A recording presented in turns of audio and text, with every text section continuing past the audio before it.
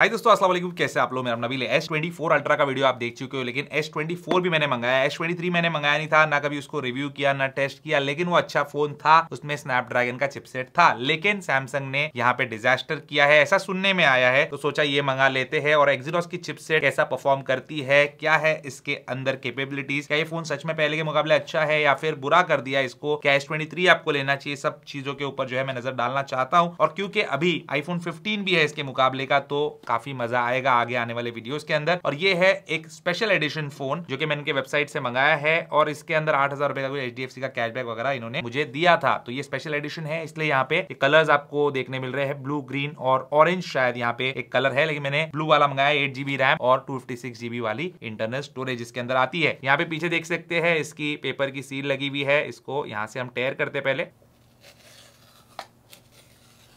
और इसके अंदर से हमारा फ़ोन बाहर निकालते हैं। तो ये है हमारा ब्लू कलर में एस ट्वेंटी फोर और यहाँ पे कुछ चीज़ें रखी हुई है बॉक्स में।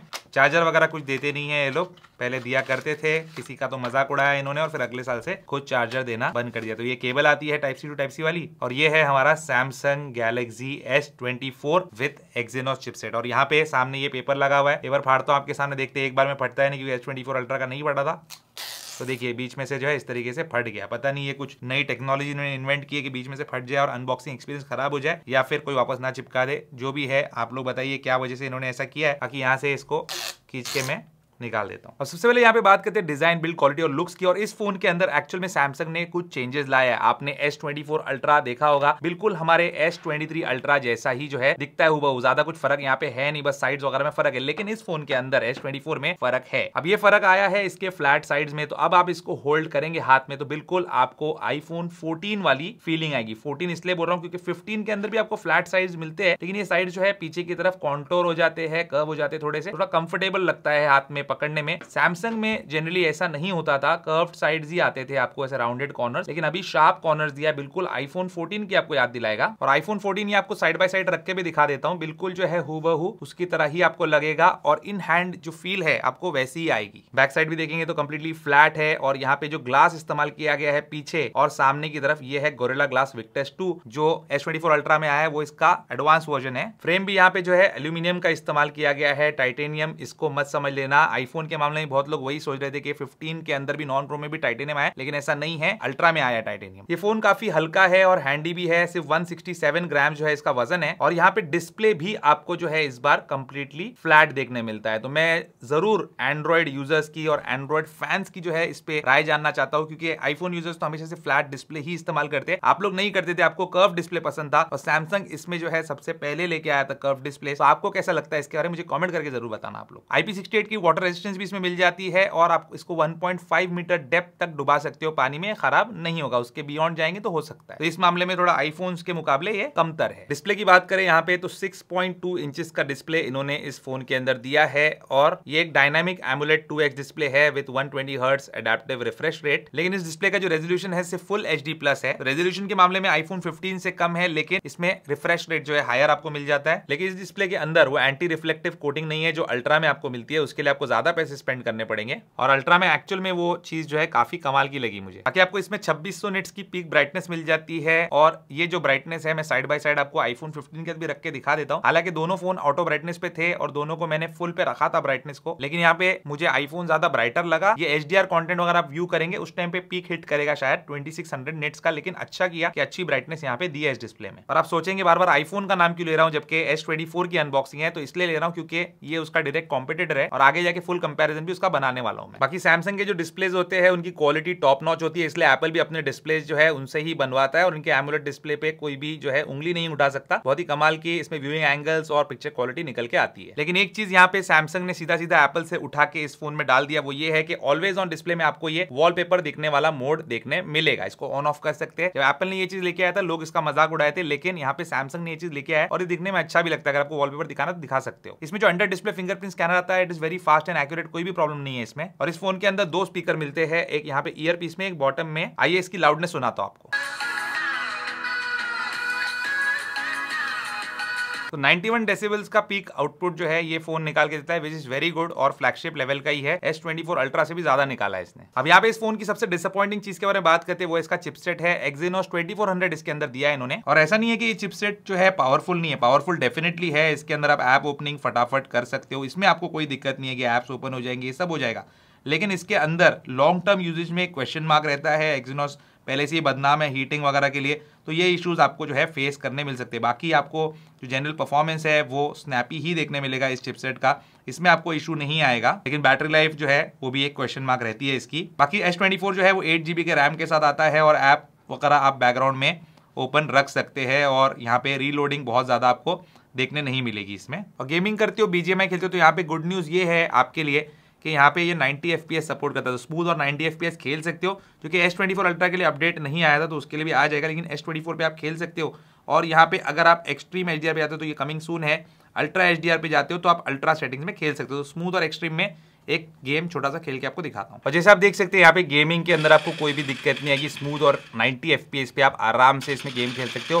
कोई फ्रेम ड्रॉप वगैरह आपको देखने नहीं मिलने वाला इसमें तो इस मामले में इसमें आपको कोई शिकायत नहीं आएगी। परफॉर्मेंस जो है काफ़ी अच्छा है इसका गेमिंग के मामले में। बैटरी जो है इसके अंदर वो चार हज़ार कैपेसिटी की आपको मिल जाती है, लेकिन मैं ज़्यादा इससे उम्मीद नहीं करता क्योंकि चिपसेट जो है इतना एफिशियंट नहीं माना जाता है एक्जीनोस वाला रहता नहीं है। अब ये कैसा है तो लॉन्ग रन में ही हमको पता चलेगा। लेकिन ओवर का थोड़ा सा इशू लगा जब मैं बाहर इसको यूज़ कर रहा था फोटोग्राफी और वीडियोग्राफी के लिए। बाकी इसमें पच्चीस वॉट की वायर चार्जिंग मिल जाती है, जो कि आईफोन के मुकाबले कम है, उसमें ट्वेंटी तक जाता है। और सैमसंग के दूसरे फ़ोन या अल्ट्रा की भी अगर बात करें तो उसके मुकाबले भी कम है ये फोर्टी वॉट की चार्जिंग देता है। और दूसरे एंड्रॉइड फ़ोन से तो कंपेयर करें तो बहुत ही ज़्यादा कम है, जो कि पचास watt sixty seven watt eighty watt hundred watt की चार्जिंग देते हैं, लेकिन आपके ऊपर डिपेंड करता है, आपको क्या चाहिए, क्या नहीं। और इसमें वायरलेस चार्जिंग भी मिलती है फिफ्टीन वॉट की, और रिवर्स वायरलेस चार्जिंग मिलती है साढ़े चार वॉट की, जिससे आप अपने एक्सेसरीज चार्ज कर सकते हो। और एक चीज़ मैं एस ट्वेंटी फोर अल्ट्रा की वीडियो में नहीं बताया आपको, वो ये था कि इन डिवाइसेस के साथ अगर आप सैमसंग डॉट कॉम से लेते हो, जैसे मैंने लिया तो आपको एक वायरलेस चार्जर जो है फ्री में मिलता है, जिसमें आप अपने एयरपॉड्स और अपने फ़ोन को आईफोन को भी चार्ज कर सकते हैं, और इसके नीचे फ़ैन भी है कूलिंग के लिए फ़ोन को कूल नहीं करेगा, लेकिन अपने आप को कूल रखेगा ये। तो अगर आपको कॉम से लेना है तो लिंक डिस्क्रिप्शन में वहाँ से ले सकते हो और HDFC का कार्ड डिस्काउंट भी है। लेकिन ये मेरा कोई रिकमेंडेशन नहीं है इस फ़ोन को लेने का, मर्ज़ी आपकी और साथ ही एक रेफरल कोड भी देता हूँ, जिससे फाइव का आपको डिस्काउंट मिलेगा आपकी कार्ड वैल्यू पे। अब कैमरास की बात करें दोस्तों तो यहाँ पे आपको ट्रिपल कैमरा का सेटअप मिलता है फिफ्टी मेगापिक्सल टेन मेगापिक्सल और ट्वेल्व मेगापिक्सल और फ्रंट फेसिंग कैमरा इसमें आता है बारह मेगापिक्सल का। तो कैमरास का परफॉर्मेंस कैसा है, चलिए आपको बताता हूँ। बैकग्राउंड में धूप रहेगी सेल्फी के दौरान तो इतने ज़्यादा डिटेल्स चेहरे पे आपको देखने नहीं मिलेंगे लेंस फ्लेयर भी देखने मिलेगा। बाकी अगर धूप चेहरे के पीछे से नहीं आ रही और इनडायरेक्ट लाइटिंग है आउटडोर में तो ठीक ठाक सेल्फी निकाल देता है। आर्टिफिशियल लाइटिंग में सेल्फी के अंदर ज़्यादा डिटेल्स आपको देखने नहीं मिलेंगे। और सेल्फी में पोर्ट्रेट फ़ोटोज़ जो है, वो अच्छे आते हैं डिटेक्शन वगैरह अच्छा लेकिन यहाँ पे भी लेंस फ्लेयर देखने मिला, जो आईफोन में भी आता है। यहाँ पे देखेंगे आउटडोर में मैंने लिया है ये पोर्ट्रेट सेल्फी ठीक है क्वालिटी इतनी अच्छी नहीं, लेकिन एज डिटेक्शन बहुत अच्छा है। और इंडोर लाइटिंग में अगर लाइट अच्छी पड़ रही है तो क्वालिटी अच्छी आती है पोर्ट्रेट फ़ोटोज़ की सेल्फी में। रियर कैमरा से नॉर्मल इमेजेस की बात करते हैं तो यहाँ पे बैकग्राउंड से धूप आ रही है तो इमेज की क्वालिटी काफ़ी ड्रॉप हो जाती है और लेंस फ्लेयर भी आपको देखने मिलता है। लेकिन अगर डायरेक्ट लाइटिंग नहीं है सनलाइट डायरेक्टली नहीं पड़ रही तो ठीक ठाक फ़ोटो वन मोड में ये निकाल पाता है और इंडोर लाइट्स में भी ठीक ही है इसकी क्वालिटी रियर कैमरा से पोर्ट्रेट मोड में अगेन एज डिटेक्शन बहुत अच्छा है, जो सैमसंग के फ़ोन में देखने मिलता है। लेकिन धूप अगर पीछे से आ रही है तो इतनी अच्छी क्वालिटी नहीं मिलेगी आपको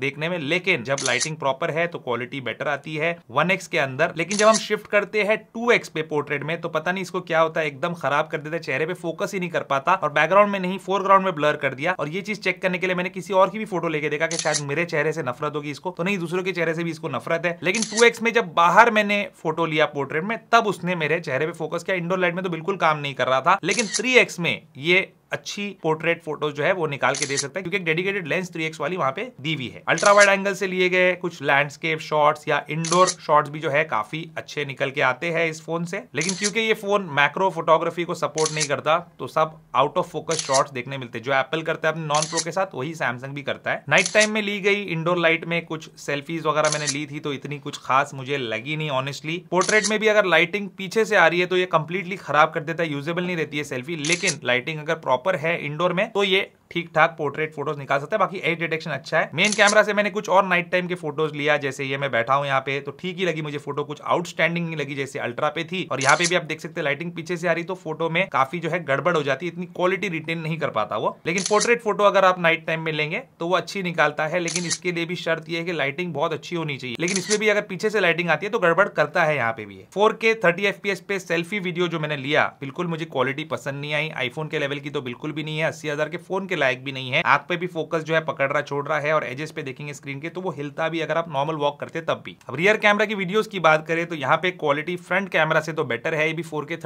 पे लिया था मैंने फोर के पे भी ये जा सकता है। ठीक ठाक क्वालिटी निकल के आती लेकिन फुल कंपेरिजन जब करूँगा, दो फ़ोन जब साथ में होंगे साइड बाय साइड तब हमको समझ में आएगा। यहाँ पे क्वालिटी जो है वीडियोस की आउटस्टैंडिंग नहीं है। फ़ोटोज़ जो है वीडियोस से बेटर थे इस फ़ोन के। पोर्ट्रेट वीडियोस रियर कैमरा से एस ट्वेंटी अल्ट्रा से भी बेटर है और एस ट्वेंटी अल्ट्रा से भी बेटर है इस वाले फ़ोन के अंदर, जहाँ पे चेहरे पे फोकस डी फोकस वो प्रॉब्लम नहीं आ रहा है। और यहाँ पे मैं जब वॉक कर रहा हूँ, तब भी वो झटका जो लग रहा था एस अल्ट्रा में, वो नहीं लग रहा। लेकिन उतनी अच्छी क्वालिटी नहीं है जितने, इतने महँगे फ़ोन में होनी चाहिए। फिर भी उससे बेहतर फ़ोन से सैमसंग के खुद के ये क्वालिटी बेटर निकल के आई है इस फ़ोन में। बाकी वीडियो स्टेबिलाईजेशन मुझे यहाँ पे अच्छा नहीं लगा। बहुत ज़्यादा शेकी वीडियो निकालता है। अगर आप नॉर्मल जॉगिंग करते हो, तब भी। और ये proper four K thirty F में है। एक्स्ट्रा स्टेबिलाईजेशन नहीं, लेकिन बेसिक स्टेबिलाईजेशन ऑन है। और अगर यहाँ पे इनका जो एक्शन मोड है, या फिर सुपर स्टडी मोड है, ये ऑन करता हूँ, तब भी आप देख सकते हैं। वो भी अल्ट्रा वाइड पे जो डिफ़ॉल्ट रहता है, तब भी बहुत ज़्यादा हिल रही है फुटेज तो मैं खुश नहीं हूँ इससे। तो ये थी दोस्तों इसकी कैमरा क्वालिटी फ़ोटोज़ और वीडियोस के मामले में। जो भी मैंने बताया आपको, ये मैंने बड़े स्क्रीन पे देखा है फोर के रेजोल्यूशन पे देखा है और यहाँ पे इस हिसाब से मैंने वर्डिक दिया, लेकिन मेरा फाइनल वर्डिक नहीं है। जब मैं इसको कंपेयर करूँगा इसके कॉम्पिटेटर से, जो कि आईफोन 15 है, तब मैं आपको ज़्यादा अच्छे से बता पाऊँगा, शायद ये उससे बेटर हो, शायद ना हो। लेकिन अभी जो मुझे समझ में आया, जो देखकर पता चला, वो मैंने आपके सामने बताया कि इसकी फ़ोटो क्वालिटी जो है अल्ट्रा वाले फ़ोन जितनी अच्छी नहीं है और अगर आप ज़्यादा पे करते तो आपको यहाँ पे क्वालिटी भी ज़्यादा मिलती है। बाकी वीडियो क्वालिटी खराब है लेकिन पोर्ट्रेट वीडियो में ये बेटर काम करता है अल्ट्रा से भी। अब इसके अंदर भी आपको एआई फीचर्स जो है पूरे पूरे मिल जाते हैं, जो आपको एस अल्ट्रा में मिलते हैं तो आप सर्कल टू सर्च कर सकते हो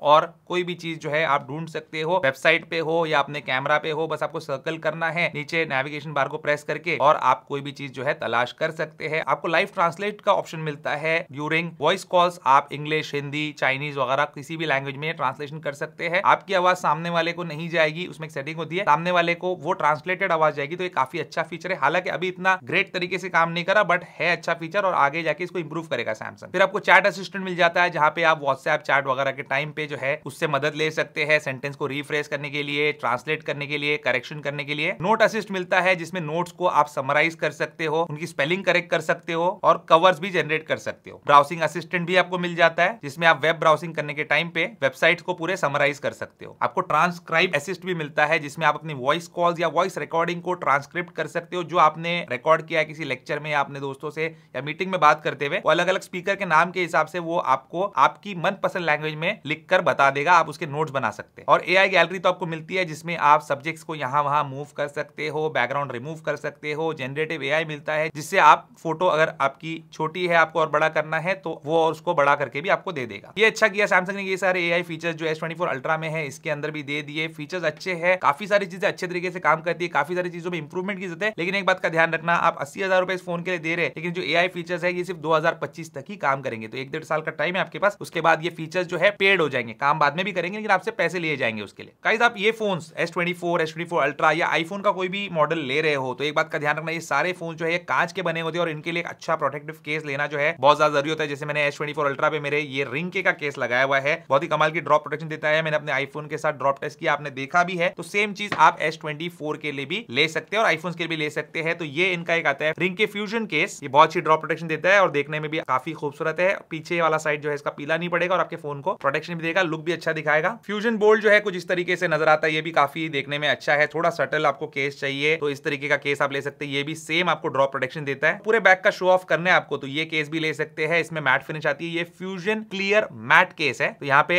इसके लिए भी आप जा सकते हैं। और ये सब केसेस जो है रिंके के आईफोन के हो सैमसंग के हो वन के हो, इनका लिंक है डिस्क्रिप्शन में वहाँ से जाइए और एक कूपन कोड है, उसको अप्लाई कीजिए तो आपको फ्लैट एटीन परसेंट अठारह परसेंट ऑफ़ मिल जाएगा एट चेकआउट और चेकआउट पे। हमारा कूपन कोड जो बताया वो अप्लाई करना और देख लेना दूसरे कूपन कोड भी होंगे वहाँ पे, आपको बेस्ट डिस्काउंट जो है मेरे दिए हुए कूपन कोड पे ही मिलेगा। अब आप ऑनेस्टली मुझे बताइए दोस्तों, क्या ये सब बातें जो मैंने आपको बताया सैमसंग गैलेक्सी एस के बारे में, इसके लिए आप एटी थाउज़ेंड पे करेंगे या नहीं करेंगे? जो भी आप सोचते मुझे कॉमेंट लिखिए, ज़रूर बताइए मैं जानना चाहता हूँ। अल्ट्रा अलग चीज़ है अल्ट्रा का जो कैमराज है, वो अलग चीज़ है, उसका परफॉर्मेंस अलग चीज़ है। स्नैपड्रैगन का जो चिपसेट आया है, वो ज़बरदस्त है। ये डिस्प्ले के ऊपर जो एंटी रिफ्लेक्टिव कोटिंग है, ये ज़बरदस्त है। लेकिन ये फ़ोन क्या वर्थ इट है? एटी थाउज़ेंड रुपीज़ आप स्पेंड करेंगे या फिर इसकी जगह कोई और फ़ोन लेना चाहेंगे? Let me know in the comment section below उम्मीद दोस्तों, आपका आज का वीडियो पसंद आएगा पसंद वीडियो शेयर ज़रूर कीजिए मेरे चैनल को सब्सक्राइब कीजिए। Good bye